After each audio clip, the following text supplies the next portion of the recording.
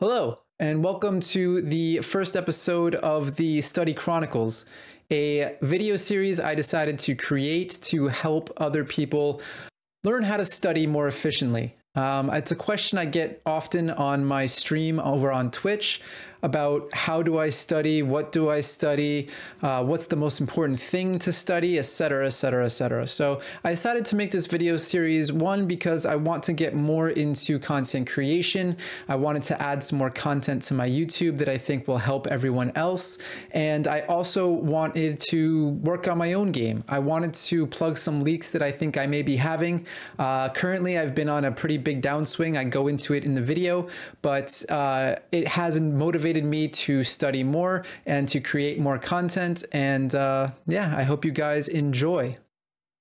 So, what am I doing today?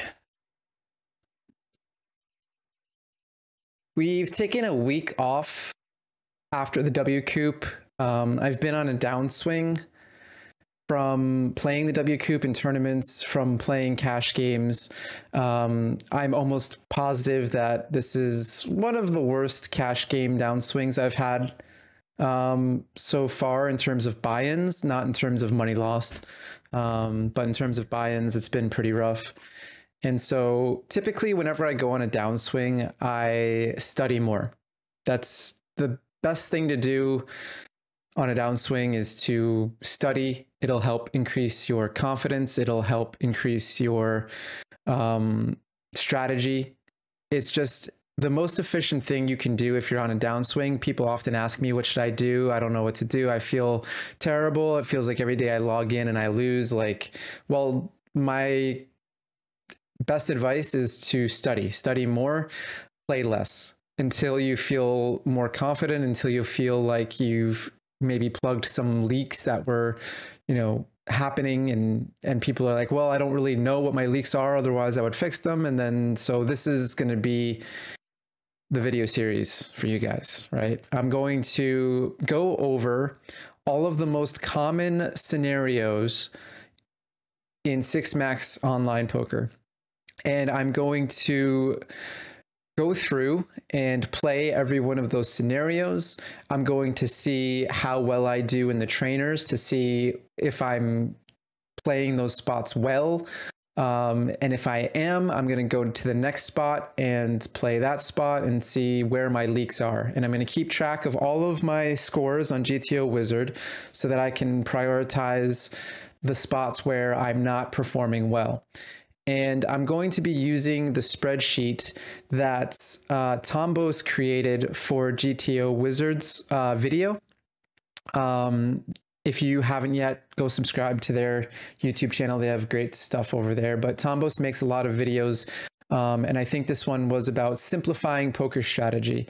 Uh, and so he created this spreadsheet here, which is telling you all of the different scenarios and the importance of them.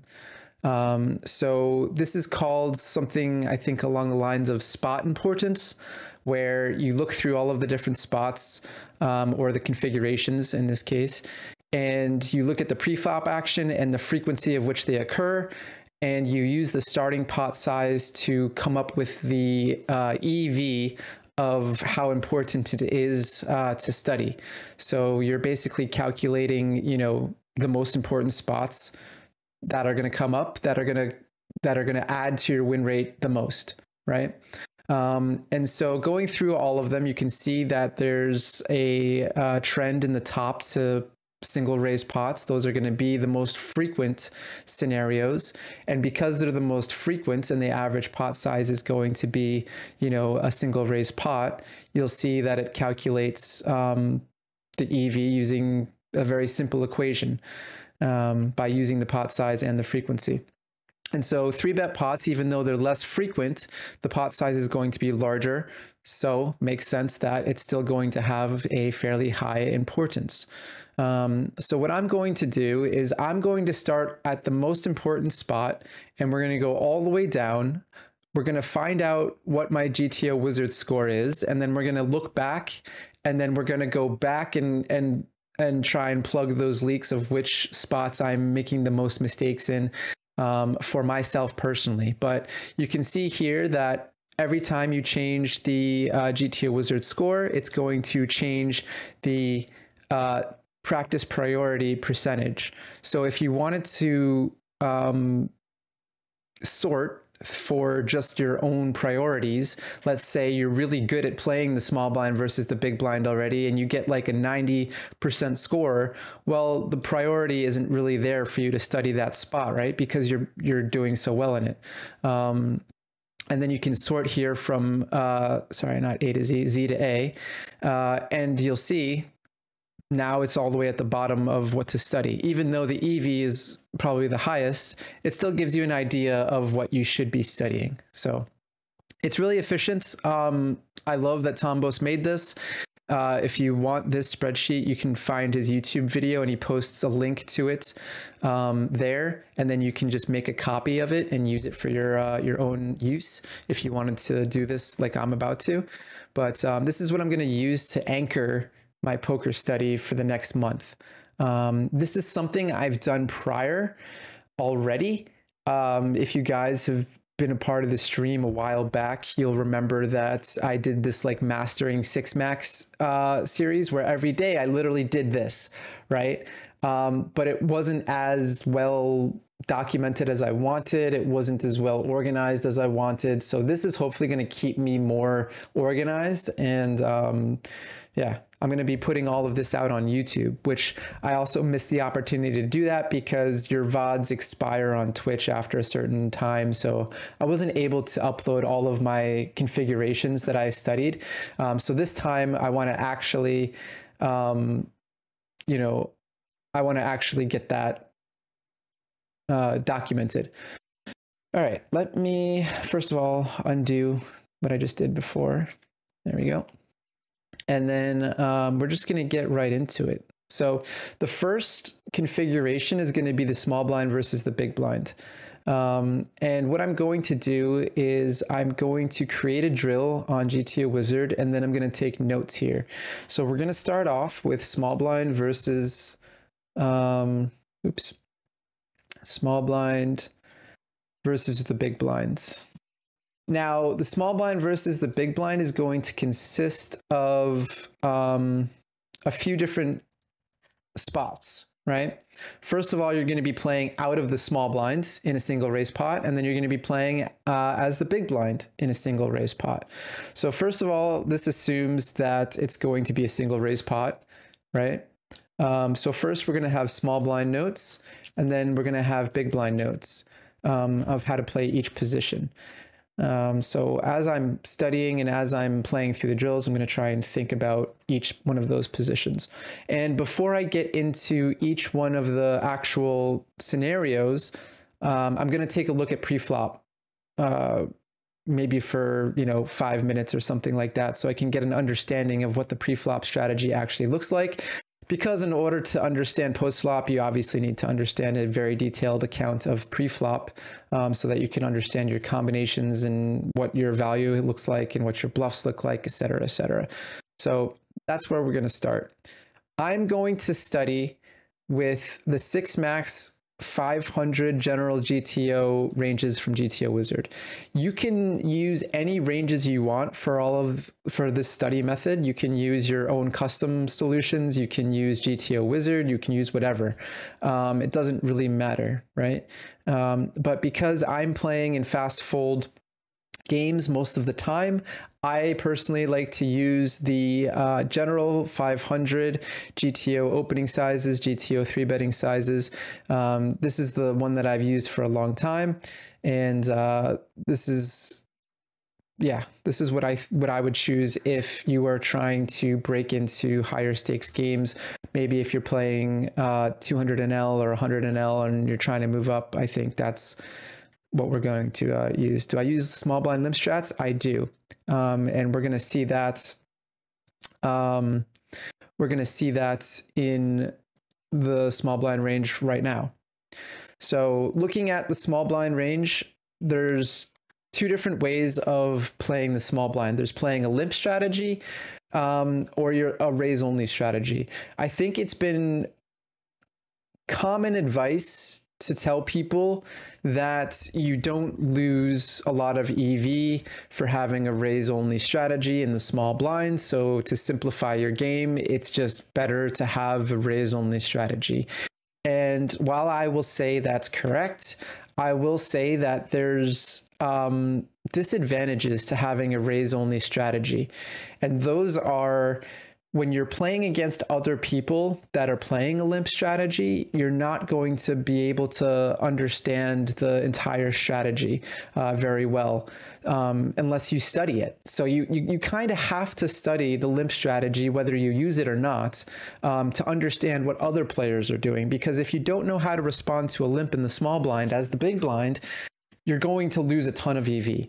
So yes, you're not going to lose any EV, any EV if you simplify your strategy out of the small blind by raise only, but you're going to lose a lot of EV in lots of other nodes and scenarios um, playing as the big blind versus a small blind limp because you haven't studied it. So to me, it makes the most sense to just incorporate a limp strategy um, because you're going to have to study it eventually anyway, right? So I I like to play a limp strategy. I know a lot of other players play a raise only strategy, but um, if the rake isn't too terrible and the solver wants to have a limp strategy for the game that you're playing, I would recommend learning a limp strategy. It's complicated. It's going to take some more time than a raise only strategy, but it's going to be very rewarding down the road. The chart is so hard to memorize. Exactly. It's it's hard, but it's worth it. It's not as hard as you might think it is, right? Um, because there's some heuristics that you can come up, come up with to to memorize these kinds of things. Um, uh, so yeah, I wouldn't I wouldn't worry too much about memorizing the exact frequencies, but you can use some heuristics to understand which combos you want to uh, limp and um, which ones you're only pure raising. So uh, for one, I would look first at any pure combos. I would look at ace king suited, all of the not that one. Um, there we go. So I would just mark it. This is how I try and remember things. Um, helps me with figuring it out. Um, I think those are the only pure combos. Maybe I'm missing one or two. But if you want to also mark limp pure strategy, there's one. And then everything else is going to be a mixed strategy. Um, and so memorizing, you know, some of the strong suited broadways are going to be raising isn't too difficult. Uh, and then everything else is going to be roughly a mix of 50 to 40 to 60, 70% um, strategy, right? So like looking at queen two suited, you have a raise 66%, limp 34%. Um, ace nine offsuit, no, technically ace nine offsuit has a 2.5% call. Um, but yeah, it does look like it's almost pure. Um, and so, yeah, you guys get the idea with that. Um, in this scenario, we're going to look at a single raise pot. So it's important to understand what the raise range looks like. Um, so excluding the limp fold strategies and the limp strategies.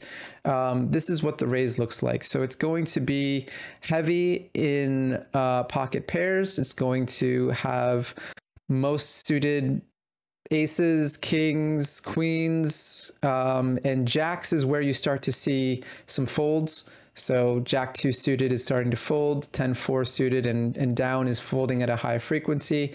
Um, some of the weaker suited combos, or sorry, not folding, it might be limping yeah, this one's limping. Um, and again, not folding, jack two suited. Um, but raise, I should just say raise. Uh, they are raising or not raising, right? Um, and then the offsuit combos, the worst one you're going to have is king seven off for raising, eight seven off for raising, and then the rest weaker ones are either limping or folding. Um, ace deuce offsuit, surprisingly, is either a limp or a fold out of the small blind. I think if you play a raise only strategy, you'll see ace deuce off is just a pure fold. Um, so that's what our small blind range is going to look like uh, coming in for a raise, right? So we're going to take a look at that. And then we're going to look at the big blind defense versus a raise. So the big blind has a high frequency three bets. Despite being in position, we're still going to have a lot of three bets with a lot of suited connectors.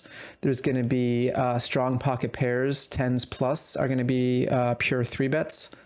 Um, you're going to have a mix of suited aces, suited kings, some of the weaker suited hands in your range. So, like 10 highs, jack highs, nine highs, even uh, that are disconnected.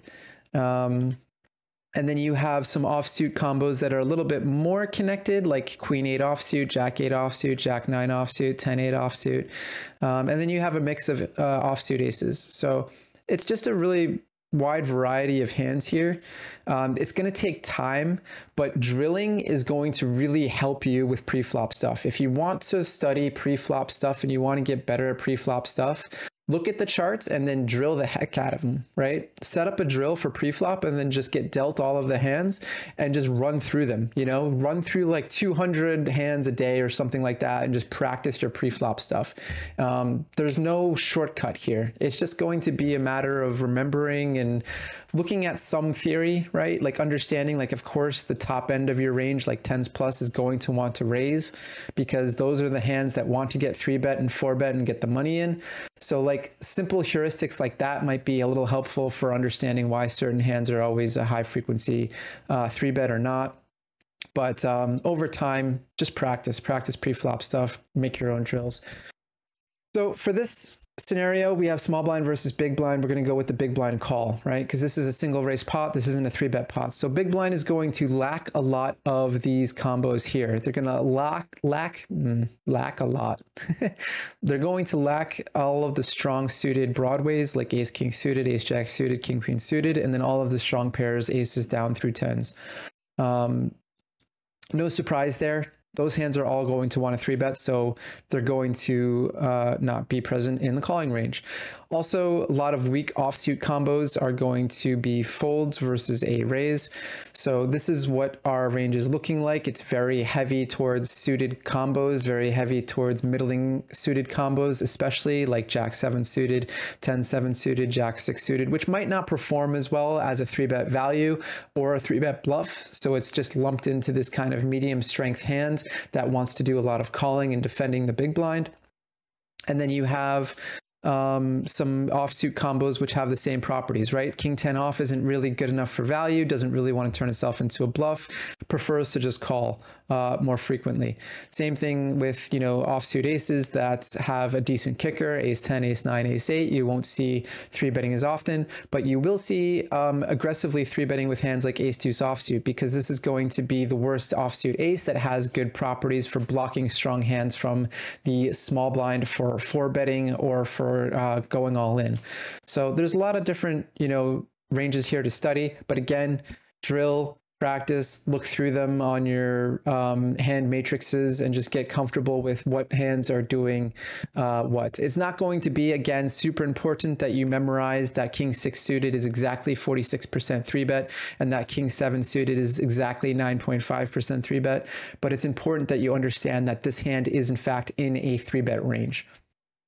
Okay, um, so we call, and then that's pre-flop, right?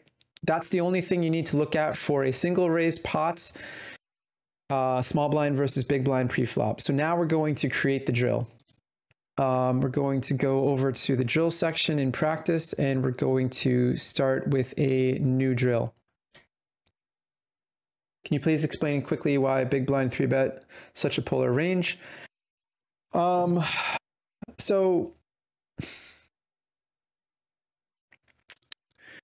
typically when you three bets out of the big blinds and you get four bets, you don't want to put yourself in a position where you're continuing with medium hands that can be dominated uh, by a four betting range.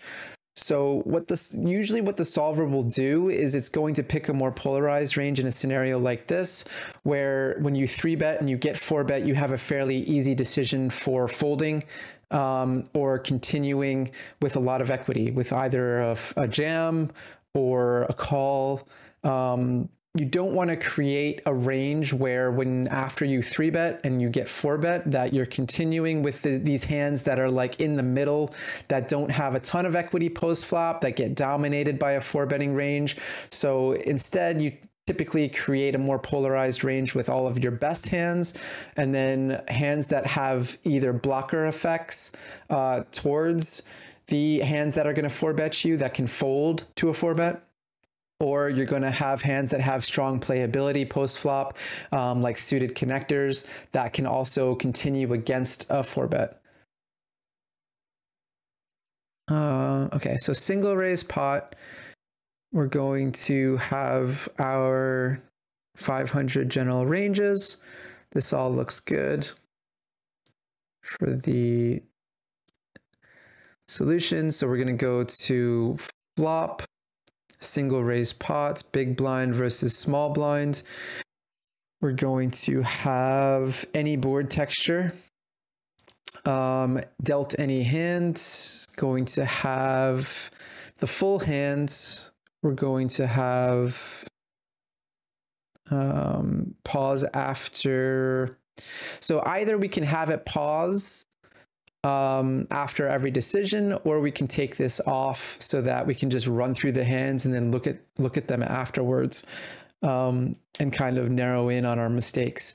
Um, I particularly like to use the action so that in the moment that I make that mistake, I can immediately get that feedback mistake, right? Like mistake. So it kind of trains my brain to to just recognize when I'm making a mistake in the current node. Um, but maybe you would do better with looking at it afterwards. I don't know. It's it's preference for you.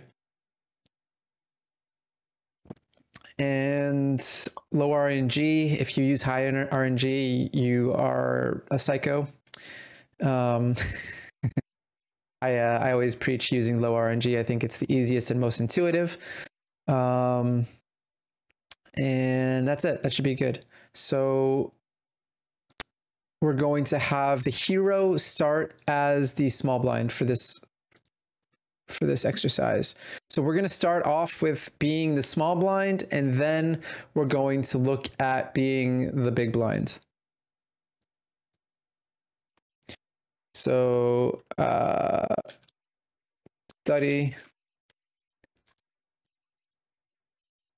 Chronicle, small blinds versus big blinds, single raise pot. And whichever position I put first is the one that we're focusing on. So the highlight is on the small blind today, single raise pot. Low RNG is plus EV, I agree. Um, okay, so then once you get your drill done, you can just start it up. Should be everything that you put into the uh, options. And we're going to play, um, I don't know, 20 hands, let's say, uh, of each scenario.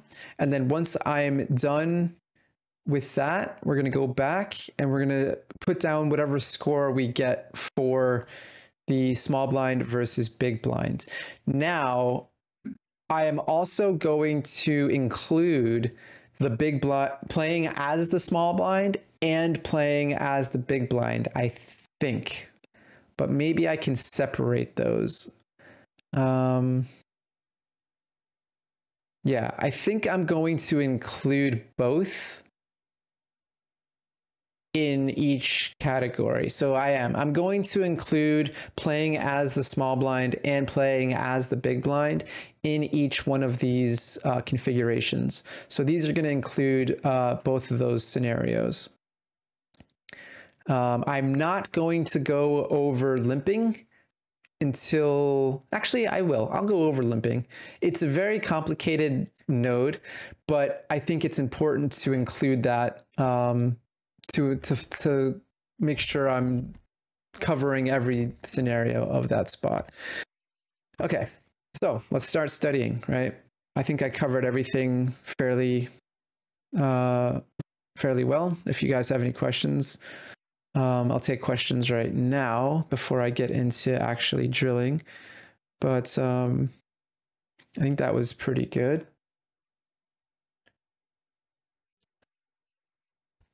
Let me top up my coffee here.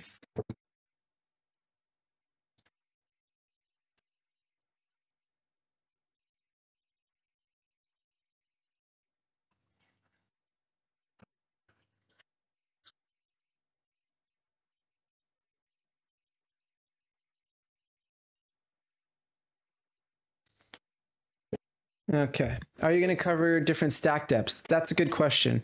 Um, I think that I will likely just cover 100 big blinds for the first run through of the spreadsheet. And then I will make a copy of the same spreadsheet and go through 200 big blinds. I think the next important uh, stack depth would be 200 big blinds um, because that's going to be the second most common, or maybe even 150 big blinds. But I don't think it really differs that much from 100 big blinds. Um, you do have some small differences in like four bet pots and stuff, but like uh, I think for the most part, I would rather put in 200 big blinds as the next stack depth to study. So yeah, I, I'll probably go over different stack depths. Um, I'll probably go over like I'll probably just do one video for deep stack stuff, right? And then just cover the differences for all of the scenarios um, uh, in, a, in a quick like overview. All right, so small blind versus big blinds. We got the small blind. Let's play some hands. Um, so I obviously have done a lot of poker study already. I have a lot of um, thoughts that I'm going to share within every hand. I'm going to try and uh, while I'm learning, teach you guys, kind of like a double whammy, right? So I'm going to explain my thought process, which has been, you know, years of studying poker.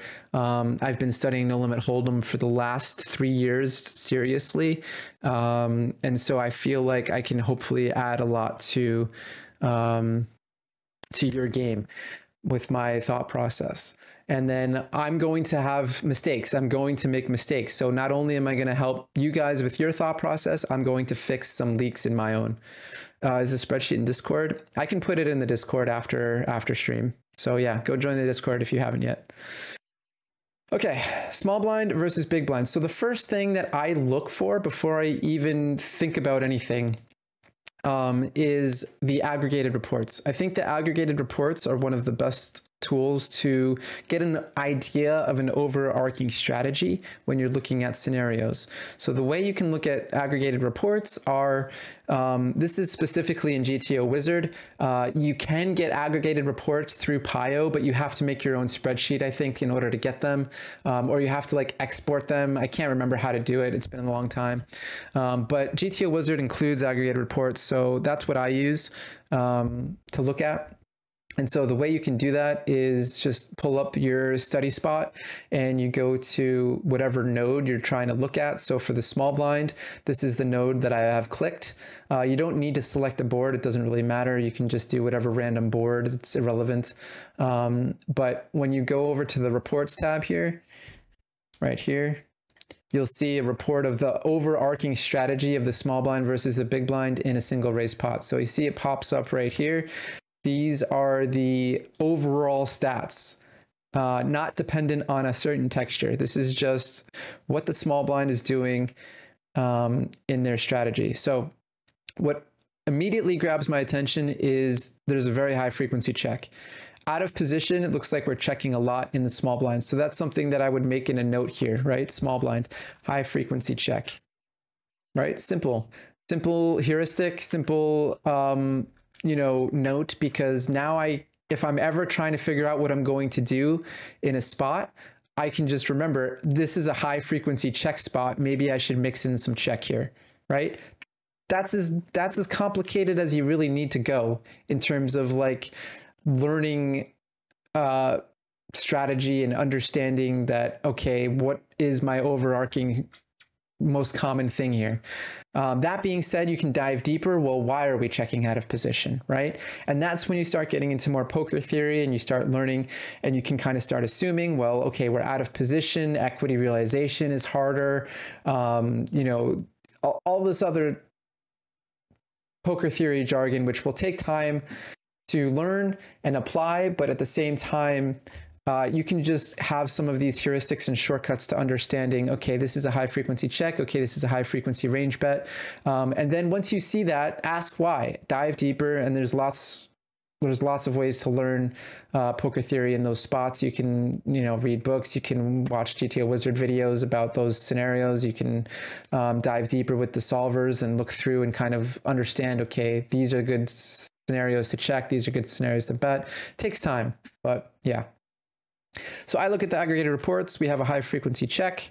First off, we have the most common sizing, uh, 33% bet, right? Uh, this is very standoutish in terms of the other sizings that are being used. Yes, we do use these other sizings at a small frequency, but again, if I'm in doubt, now I can have a better idea of, okay, I'm either going to check or I'm going to bet small, right? When it comes to bet sizings, I like to group sizings into small, medium, large, and overbet. So it doesn't matter how many sizings you use. Um, it doesn't matter what sizings you use. They're all going to fall into a category of is this a small bet? Is this a medium bet? Is this a large bet? Is this an overbet? Right? So, four categories that are going to help you understand an overarching strategy again. Um, so, we can just look at this strategy and say, okay, it doesn't matter if we have a 25% C bet. It doesn't matter if we have a 20% C bet. It doesn't matter if we have a 37% C bet. We're going to have a small C bet at a high frequency, right? You can assume that if you replace 33 with 25, with 37, with whatever, that the solver is probably going to pick whatever small bet you put there over something like 50, right? Because you can see that 50 is included here. You see the 33 is included here. Well, the solver is probably going to pick something smaller at the higher frequency. So I like to group things in small, medium, large, and overbet. And throughout the video series, I'm going to say things like this is a good spot to have a medium sized bet. This is a good spot to have an overbet, etc. So again, doesn't matter what sizings you're really picking as long as they qualify within that range of what is small, what is medium, uh, what is large. And you can see here, uh, if you want to get specific, Bet small is anything below 36%. Uh, bet medium is between 36 and 67%. Bet large is between 67 and, and 101. And then overbet is over the pot size, right? Over 101% of the pot. Um, simple, keeping it easy. All right. So you could even just study with this right? You can you can replace the percentages and just have this idea so that you can have these heuristics so that okay um, small bet most frequent right? Another very easy heuristic to oh okay. Um, very easy heuristic to put down and, and remember whenever you're sitting in that spot. So we're going to mostly use small bets. Um, and then if you want to dive deeper, you can click the small bet and then you can see which textures are going to be good for small betting. This is when you start getting a little bit more detailed about studying, right? Understanding which board textures are going to um, qualify for using a small bet at a very high frequency. Uh, well, it looks like, no surprise, board textures like ace, ace nine boards that are going to smash our initial raising range that the big blind might lack right? So again, we looked back at the big blind lacks a lot of the high suited broadways like ace king, ace jack suited. And so it, it makes sense that the board textures where we're going to see bet at a high frequency out of the small blind are going to be um, board textures with an ace in them, let alone two aces, right? So paired boards in general, you're just going to see a lot of smaller bets. Um, and then high paired boards like ace ace king king queen queen those are going to be primarily the ones where we're going to bet close to our entire range because they're just such good board textures for the small blinds interaction. So scrolling down you can see paired boards um, and then if you go a little deeper you'll see ace high boards are good ones to bet small at a high frequency. Um, you're also going to see something like I don't know, queen high boards that are paired um, King Queen 8. So two Broadway cards. Again, that makes a ton of sense for uh, range interaction. Like King Queen suited isn't in the big blinds range. So a board like King Queen 8, that's going to be um, a very intuitive board to see bet at a high frequency. Um, they all look rainbow. Um, not all of them. There are some flush draws in there, but primarily rainbow boards. Um, if there's less interaction with the big blind, if the big blind lacks the high cards, um, if if big blind lacks ace king offsuit, ace jack suited, etc., a rainbow board is harder to interact with. Um, naturally because a small blind is going to have more offsuit combos of the strong aces um, and b big blind is going to have some suited combos that can cover uh, the board when let's say the flop is ace 8 6 you see this combo here let's say the flop is ace 8 6 with a flush draw, well, then the big blind has more combos that can continue because they have those weaker flush draws like 9 4 suited or jack 7 suited, right? But jack 7 suited on a rainbow board isn't going to have as much value. So, uh, typically the rainbow board textures are going to favor the stronger ranges um, of the small blind, which is why you might see uh, a lot of rainbow textures. Um, so yeah, scrolling down like jack high boards, uh, where we're going to have a lot more over pairs like queens, kings, and aces. Um, so yeah, typically I would scroll down through all of the aggregated reports. I would look through if I'm really curious. Okay, well, what hands, what what boards do we want to overbet? Like, there's a little bit of an overbet frequency. What boards are best to overbet out of the small blind? Um, well, we see the ones that interact very well with our range, right? Ace king boards. Those are the boards where the big blind has no ace king. They don't have any pocket kings. They don't have any pocket aces. The the range advantage is going to be in the small blind. The best hands advantage is going to be in the small blind.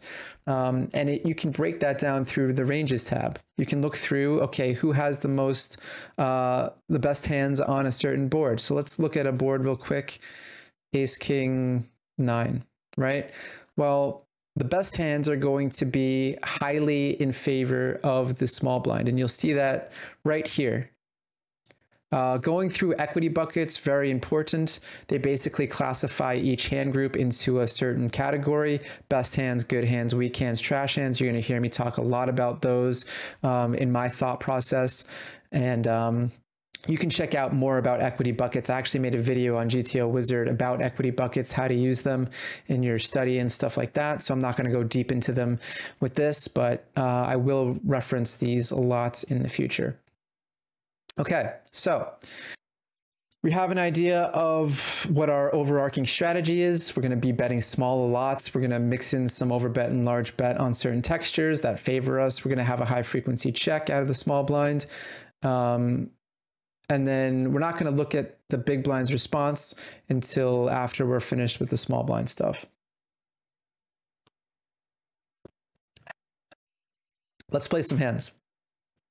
Queens 874. Now, this is a texture that I know from my past study is a very high frequency check because the big blind is going to defend a lot of these weaker suited connected combos. They're going to have a lot of these uh, 6-5 offsuit combos, which we will not. And so the solver typically checks at a very high frequency out of the small blind. That's the only heuristic I need to know to determine my strategy here. I think it's even close to 100% check. I think it's something like around 85 to 90% check, but I could even just simplify my strategy to pure check on this texture and I wouldn't lose much EV, right? So just knowing those heuristics out of position as the small blind, um, because I've looked through the range versus range, I've looked through the aggregated reports on what, uh, what textures I want to check the most. Um, I've done all of that study prior. So I know that this is a very high frequency check. So you can see here we have a 72% check. Um, we could, if we're going to bet, bet small, right? No surprise there.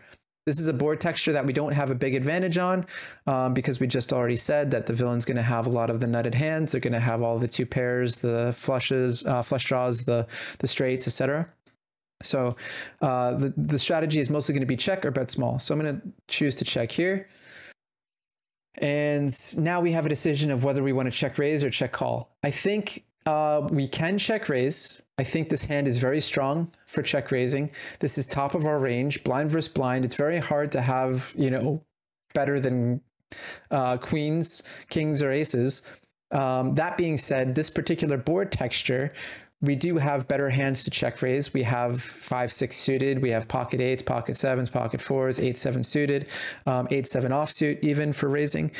Um, I think this is going to be a mix of check raise and check call. So I'm going to guess that we're going to check raise this hand. I think I would prefer to have a spade in my hand for check raising because that's going to increase our equity with the backdoor flush draw. That's going to remove some strong hands from villain's range like queen eight of spades. Um, but I think this hand is still a bit too strong to just always check call. I've rolled low so we're using a low RNG, meaning the lower number that we have, the more likely it is we're going to take the aggressive action. So if I think that we're ever check raising 22% or lower, I'm going to check raise here. And I think that's what I'm going to do this time. I think the check raise frequency would be around that, maybe like 30 something percent, but I'm going to take a guess here that we're going to check raise.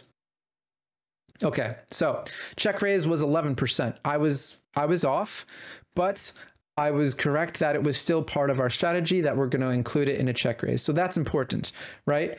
But maybe in the future I might adjust my my strategy in thinking, okay, we're not going to check raise that often. We don't have the spade. This hand is vulnerable on a lot of turns. Maybe we just want to check call.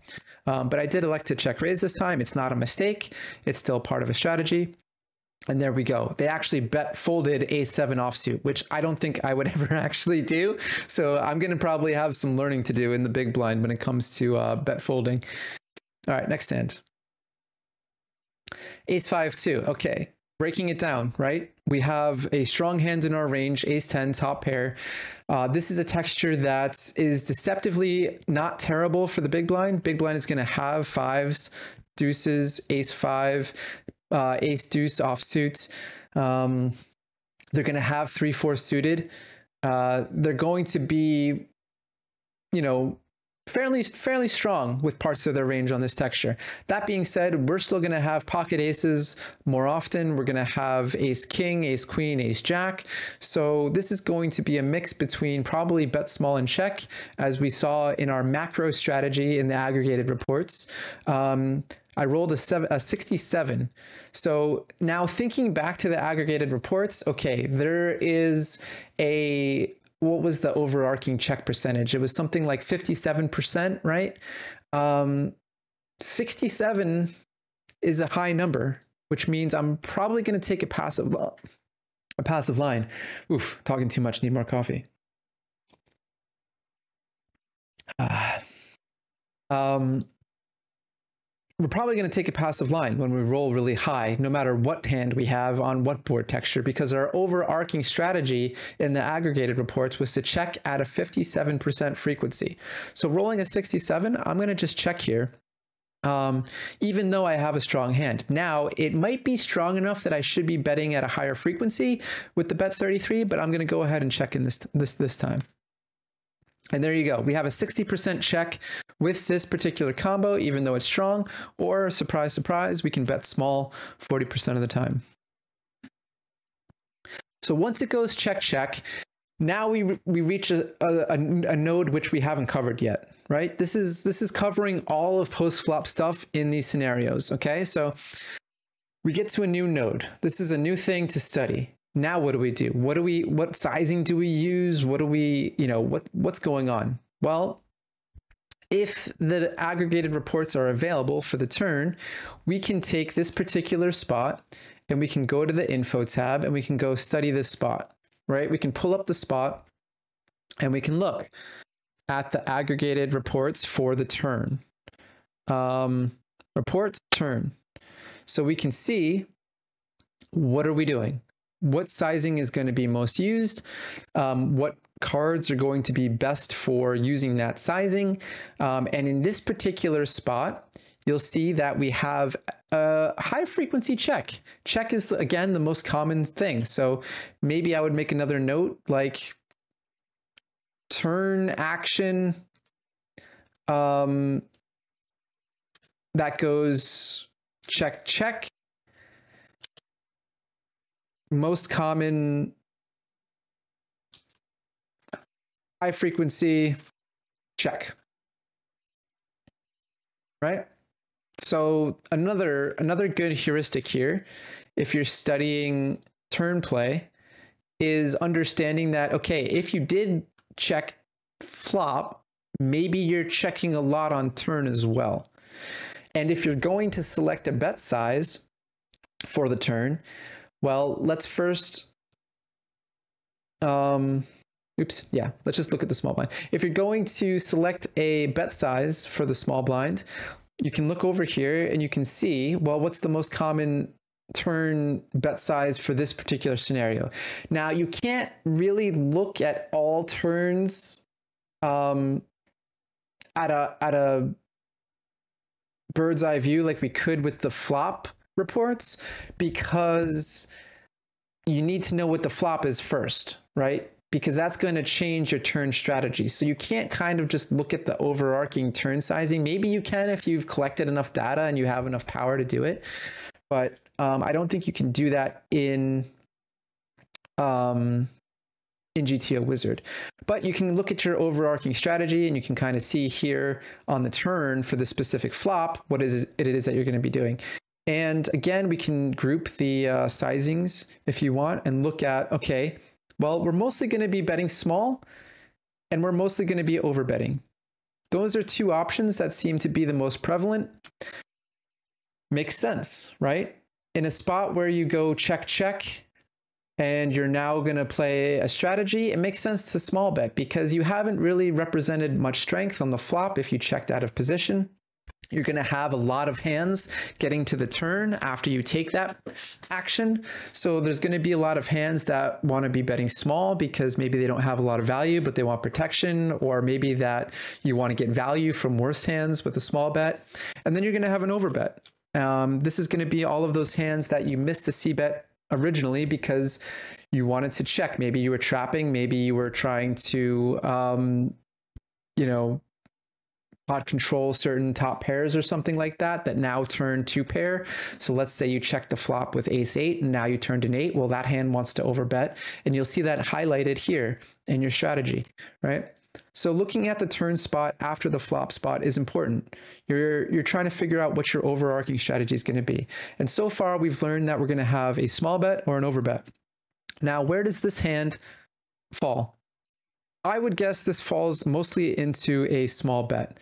Um, it could be a little bit of an overbet as well because villain lacks, remember, ace queen, ace king, ace jack suited.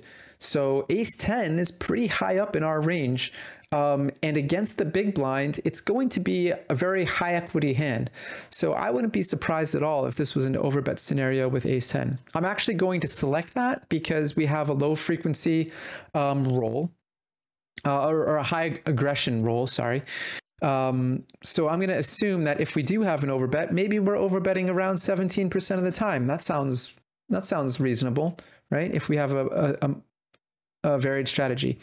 Maybe this is a pure small bet. I don't know, but I'm going to go for the overbet this time. And we're wrong, right?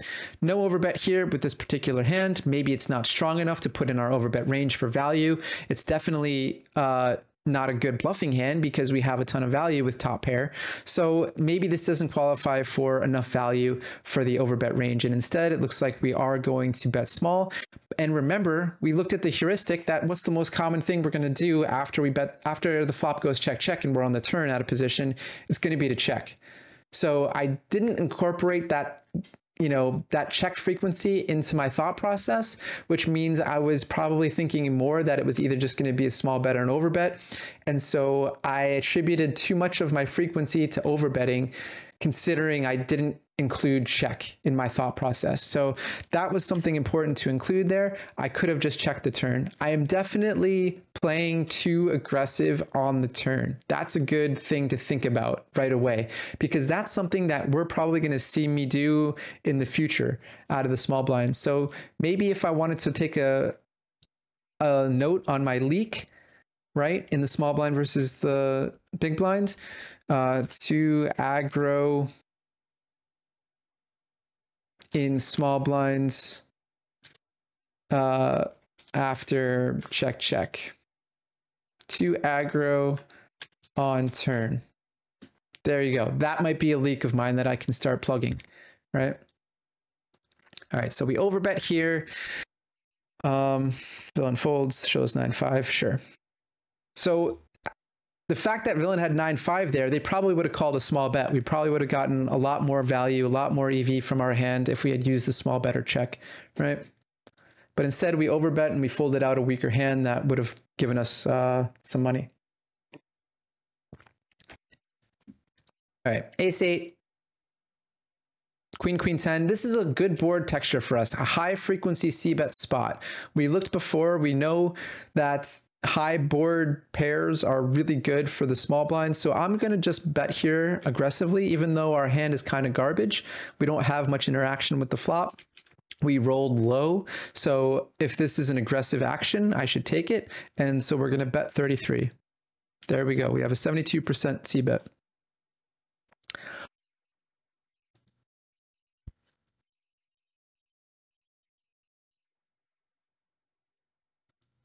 We turn an ace, and now what? This is the first time we've reached, I think, a, a bet and a call. Okay, so then now I want to think about my strategy on the turn. What sizings do I want to use? How does the how does the turn affect my um, my range? Right, like all of these things that you're going to have to put some time into and study and learn slowly but turn play in itself you could study for hours right? There's there's no end to the amount of study you can do for every flop for every turn for every river but it's just going to take time. And i find going through drills presents me with spots where it's like oh yeah what do i do on the turn? I have no idea. Well now i'm going to learn um, on this particular turn, I think it brings in some straight draws, right? King Jack gets there. So an ace turn is very unique. Um, I think that's when you see a turn like this, we're going to check a lot. I think we're going to check a lot because the big blind continued against a high frequency C bet. Okay, so small blind was c betting at a super high frequency, if not close to their range, which means anytime you have a high frequency c bets and the player defends, the player that defends is going to have a tighter range than the player that c bet because again, the player is c betting their range and then the big blind player is not going to continue with their entire range. They're going to continue with only hands that have enough equity to continue in that scenario. So the big blind is actually going to have fairly strong hands for continuing here, which means I think the small blind is going to have a high check frequency. So let's take a look and see if my, my guess is correct. In this spot, I think we're going to see a fairly high check frequency bet call, and then on the turn, we have a 50% check. So I don't know if this is average, if this is a high check frequency, but I would guess that this is probably higher than than normal, maybe not. I don't know. We can find out by changing the turn, right? Well, let's say the turn was a deuce, an offsuit deuce, complete brick. Look how high of a frequency we're checking now. And what that tells me is my initial assessment was correct in that the big blinds range is going to be tighter. Um, so whenever a turn bricks off, that player is going to maybe have uh, more equity, right? But whenever a turn comes that improves the small blinds range bet, which is going to include a lot of ace x hands like ace uh, ace king, ace queen, ace jack, etc., right? Then maybe that's going to be a better turn for the small blind to keep betting. So an ace turn is actually going to be a good turn for the small blind to keep betting. And we can see that again, double check in the reports and see that the, the cards that we're betting the most are going to be either an ace, a king, a queen, or a jack. The, the cards that we're going to be betting the least are a 10, um, or uh, low card, low card brick, right? So that's something to now consider in my in my thought process when I'm going through what sizing do I want to bet, uh, how often do I want to bet. Well, on an ace turn, we're probably going to bet at a higher frequency. Maybe we'll use a smaller bet size. Um, and then on these brick cards, maybe we'll bet infrequently and use a larger sizing, right? Because we want to be more polarized. We want to have more of a strong range for betting the turn against a range that has already a lot of strong hands in it. So, looking at the turn, I think uh, we can split our strategy between small bet or check, um, maybe some medium sized bets. But looking at my hand, this is another important part of understanding strategy. Looking at my hand, how does my hand fit into all of this? Is this a really strong hand? Is this a medium hand? Going back to the equity buckets, is this a weak hand? Do I want to check? Do I want to pot control? This is a hand I think that it's going to fall into like a medium strength hand. It's not really excited about betting twice because villain can still have queen X in their range. They can improve to having a straight. You know, this is a spot where the big blind is going to want to really uh, push equity with the the trips in their range, the straights in their range, the pair plus flush draws maybe that are really strong. Um, so I think we're going to check at a high frequency. On top of that, we rolled high, which means we're going to take a more passive line. So check sounds perfect to me. Recheck. And villain checks back. Now what? A new opportunity to study, right? You see how in depth you can get for just playing two hands in a drill? Um, this is how my my study typically goes. I go really in deep into figuring out what first of all my foundational strategy is, why I'm using certain sizings, how I'm constructing my ranges, um, and and putting certain hands into the large sizing to the small sizing. Um, I have a bunch of different sizings that can be very overwhelming for people, but take it slow, study all of the different sizings that are being used in your strategy and, and try and understand why do I use small sizings? Why do I use big sizings? Well, now we're on the river. What do I do? I think I have a decent hand. It's not a great hand. It doesn't make sense for me to go really big. We're not going to get called by much worse, right? So I think I'm either going to small bet or I'm going to check because the hands I want to get value from are going to be 10x they're going to be maybe worse ace X that floated, but we're probably going to chop with all of those. So again, it doesn't really make sense for us to go big because we're only really targeting 10x. Um, or maybe some like hero calls from King High, maybe some kind of hand that river to four that floated the flop. So something like King Four of Hearts, perhaps that got to the river. Um, but mostly I think I either want to check or go small. So I rolled an aggressive number. I'm going to, if my strategy is to either check or go small, I'm going to go small this time because that's the aggressive action. So I'm going to bet 25%. And you can see here, Solver likes to do that. And it also does include some medium sized bets, um, which is fine because at some frequency, the big blind is probably going to have to call their 10x to a medium sized bet.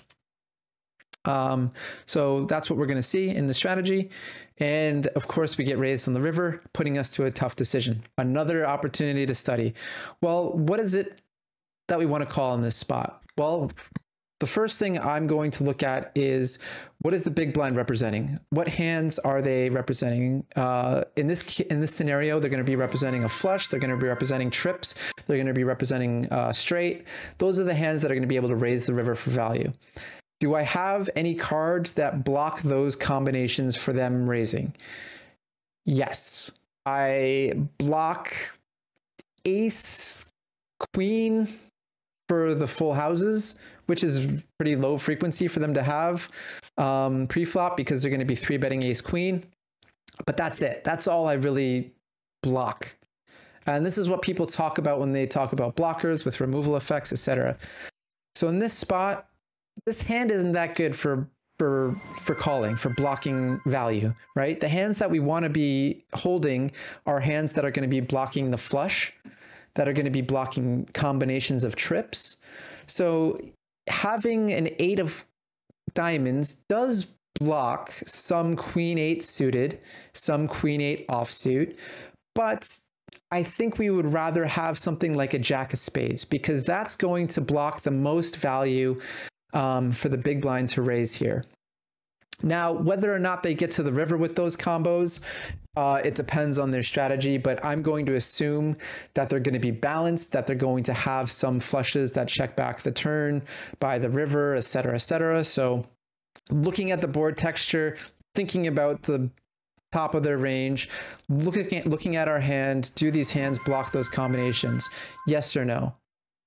This one, I would say not really, not to a high extent. So this would probably be a fold most of the time. And we would want to look to call even ace eight with an eight of spades is going to be a better hand to, to call with here. I'm going to fold this time. And you'll see that the solver wants to mix between call and fold. Um, can't fold all of our top pairs, right? So to avoid being unexploitable, the solver is going to call this hand at some frequency. However, um, it's not going to be a pure frequency because again, we don't have the best blockers here. If we were going to find a hand that wanted to call at a higher frequency, we can go look at the, the strategy again. Um, and see what hands are going to call pure, right? What hands are going to call at a higher frequency? Well, click call. Um, and then look through the different combinations.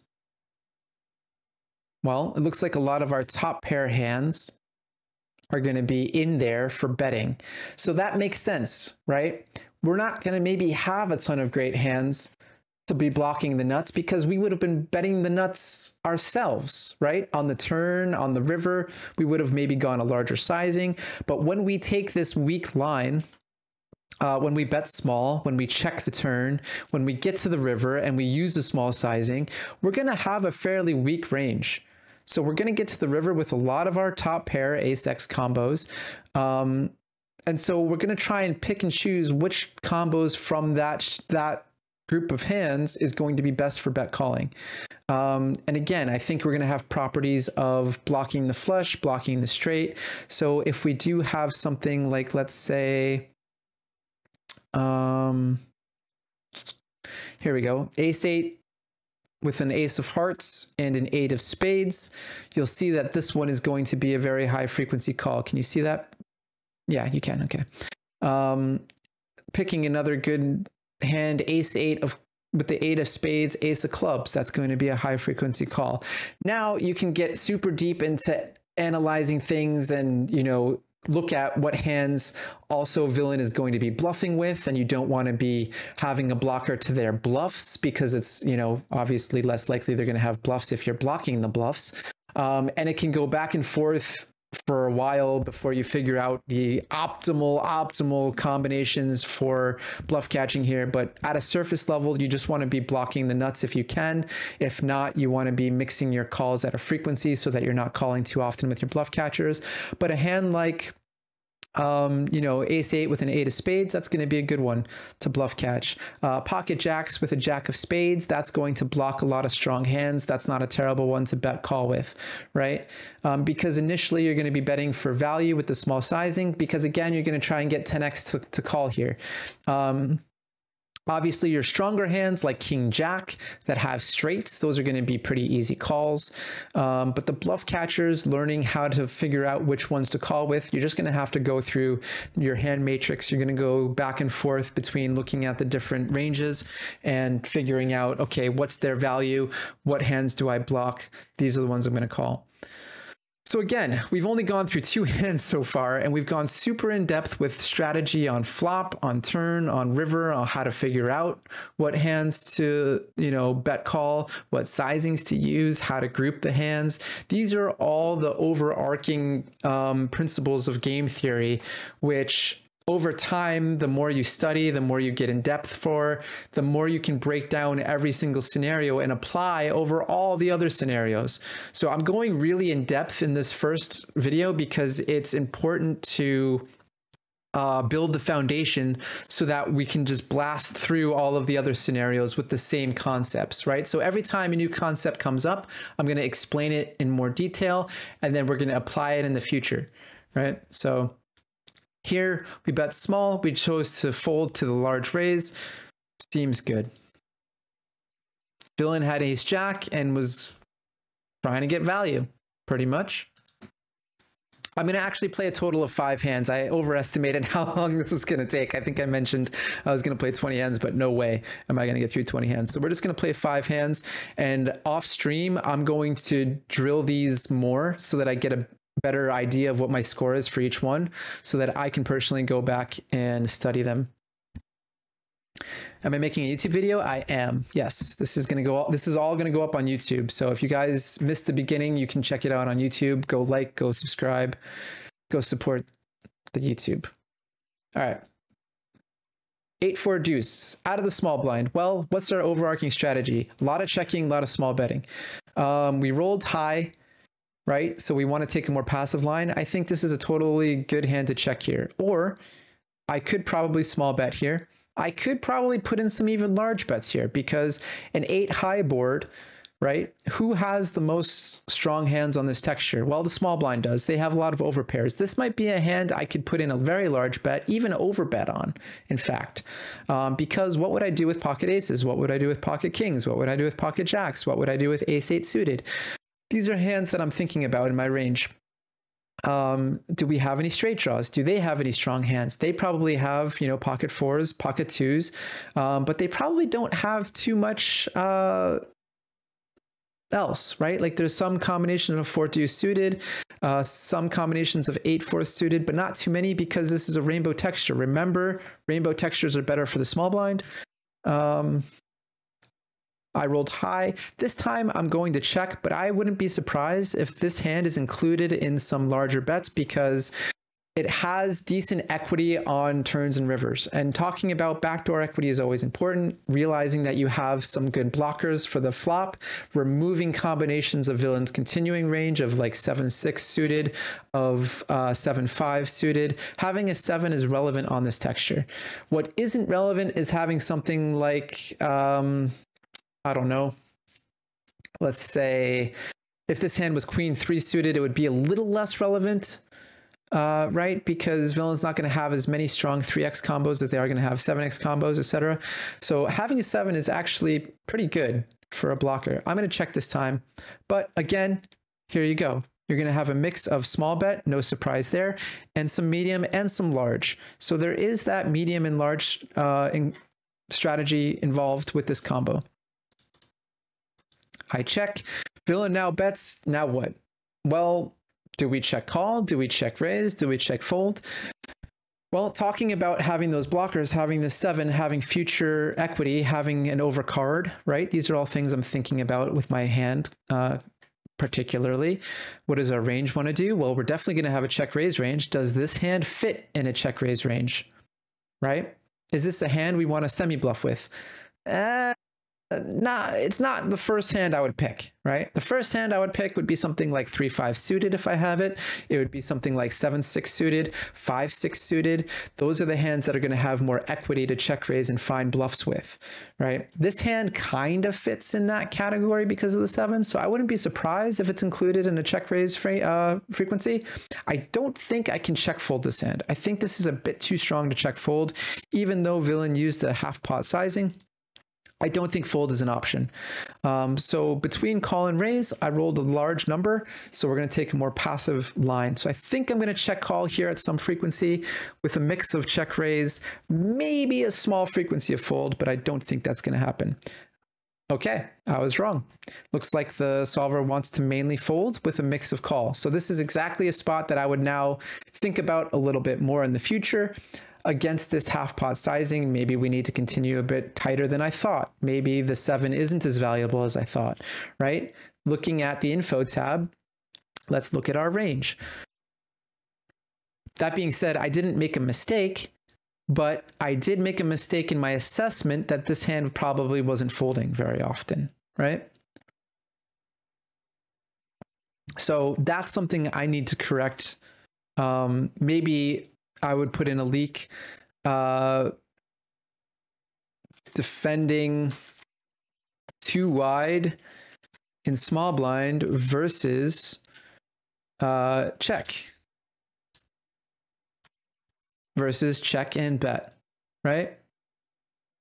Defending too wide in small blinds This is all single raised pots, so this is assumed, right? So then maybe I would write that in my leak so that next time I don't assume I need to defend as wide versus um, defending too wide in small blind versus uh, medium, or actually, yeah, we'll go check medium bet to be more specific.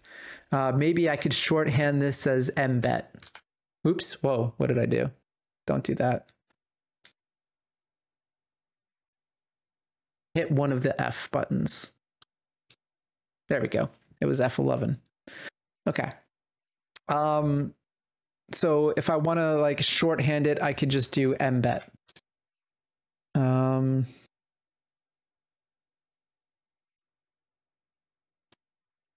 I'm going to just type out med because I'm not going to remember what MB is. I'm going to do check medium bet. There we go. That's that's shorthand enough for me. So going back to the trainer, I would look through, okay, well, what are the hands that I want to defend versus a medium bet, right? Um, well, what are the hands that we're going to check raise? We're going to use a 100% sizing more often. Um, it looks like our check raise. Well, what are our weak hands? This is my favorite thing to do. What are our weak hands? What are our bluffs? We can look through on the right filter here. We can filter for trash hands. We can look at, okay, these are our weak hands that are going to check raise. Okay, we have some 10-9 suited. We have some 9-7 suited.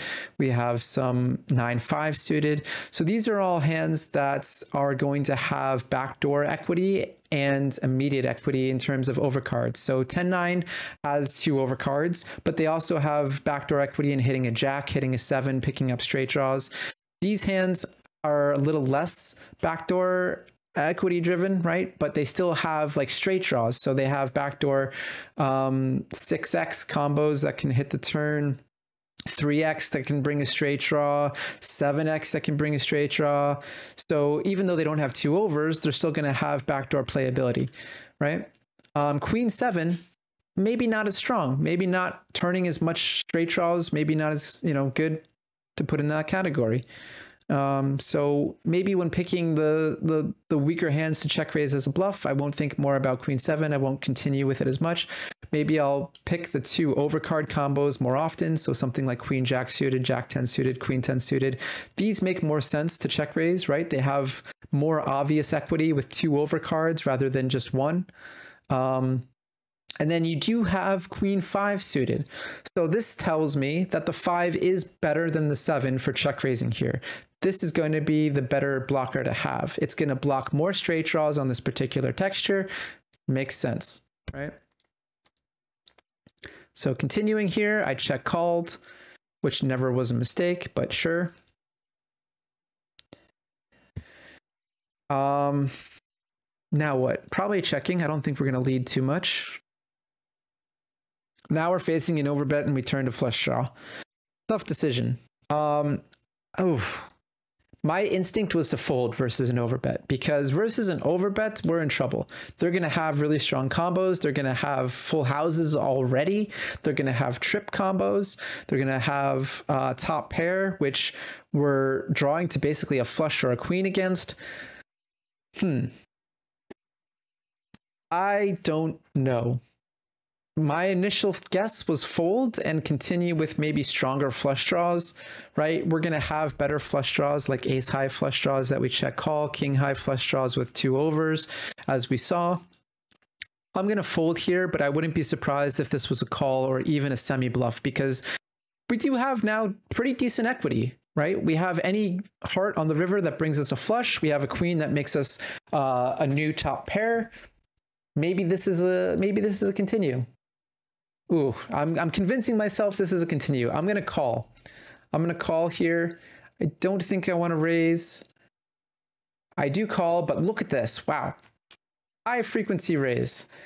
So I guess this is a raise because of what I mentioned. We do have a lot of equity on the turn. We do have these flush draw outs. We do have top pair outs. We are going to get better hands of the big blind to fold, right? So if the big blind is taking this line with something like 8x, well, it's really awkward when you face a raise now, right? Because we have this uncapped range where we could have check called the flop with over pairs. we could have check called the flop with 2x, right? So facing a raise here is really tough. So this is a good hand to maybe use as a bluff. Good to know. Well, now we got to the river. Now what? I think we're mostly going to check here, but I wouldn't be surprised if we see some leads. Yeah, we do check. And villain checks back. They ended up having seven high, and we win the pot.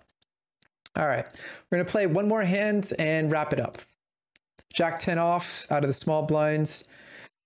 Again, our strategy is going to be mostly check and bet small. However, this texture is really good for our range. So maybe we'll see some larger bets in, in our strategy, but this particular hand is a medium strength hand, going back to those equity buckets. This hand doesn't really want to bet large. We would rather bet large with ace king, with jack jack, with eight eight, with jack eight suited, etc. So I think a check is fine here. Um, if we were going to pick a bet, it would probably be the small bet size. Um, but we rolled a very high number, so we're going to take a very passive line. We're going to check. And no surprise, our strategy is either check or small bet. Now we get to the turn. Well, again, still, this hand's not that great. Don't really want to over bets. Don't really want to, maybe we want a large bet. Um, but I think mostly we're going to either medium bet or check. And then going back to our heuristic, if you remember, if the flop goes check, check, we're probably going to check a lot on the turn too. So I'm going to go ahead and check the turn here.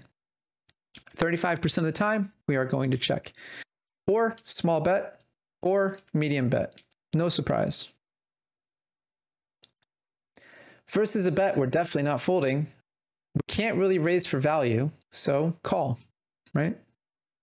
Sometimes eliminating options is the best way to figure out what you're supposed to do. Finally, we get to the river. Um, I think maybe we could lead this river because it looks like we actually have a jack at a high frequency, right? I don't think we have too much king X, but we still have a full house. Maybe we can lead. Uh, doesn't really make too much sense the more I think about it because villain was representing a king on the turn, right? So the river doesn't really change too much in terms of what their range is, only what our range is. Maybe we fill up a little bit more. Maybe we have some king X to bet here, but I think I'm mostly going to check river. And villain goes for a half pot sizing. This is kind of confusing because if they had a king, I would have thought that they would go larger. Um, we have a very strong hand. We have the best hand if we don't have a king, right? This is the second nuts, effectively. Um, the big blind's never going to have Jack Jack, never going to have King King. Um, the best hand they can have is King X. Hmm.